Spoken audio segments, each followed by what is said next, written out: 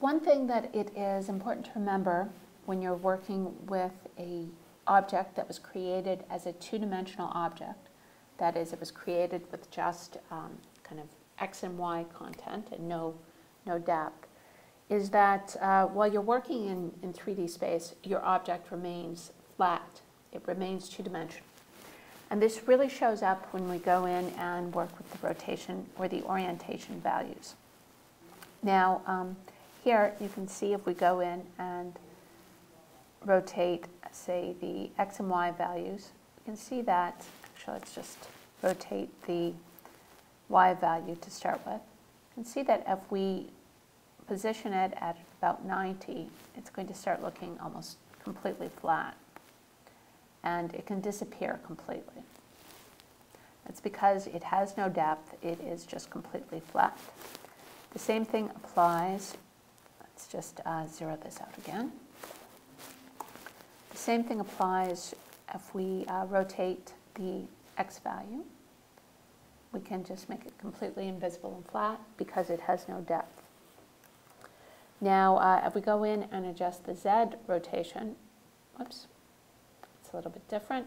We're going to get the same kind of rotation now that we actually got with our 2D layer. So it's rotating around the anchor point and it's, uh, it's not disappearing. It's just this behaving the same way that basic rotation does in a two-dimensional layer. Now here, let's just have a look at orientation, which is a little bit different from rotation.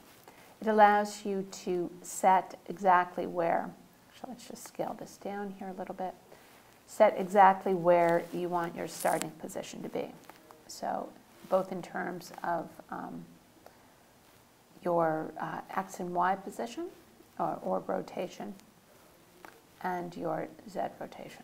So it's like uh, positioning something. It isn't quite the same as rotation, uh, but, and you can see here, it can basically have the same result. So we could start something here where it's in a position where it's completely invisible, and we could go in, whoops, and I accidentally deleted that. And we can go in and create an animation where it just kind of suddenly appears. So here, let's uh, zero this out. And I'm zeroing it out because those were the original coordinates in terms of orientation.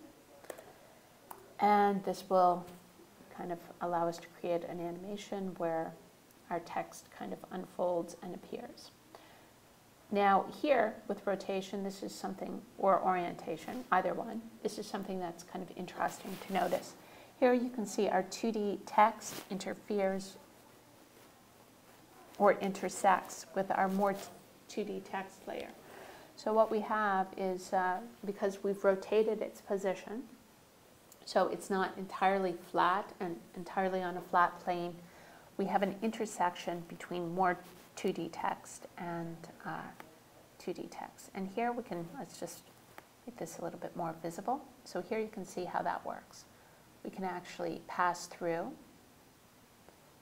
and uh, we could do this as a, an animation where our text just spins if we wanted, but I just want to point out how um, positioning, even though our layers are flat, is a little bit more complicated when you're working with uh, multiple dimensions.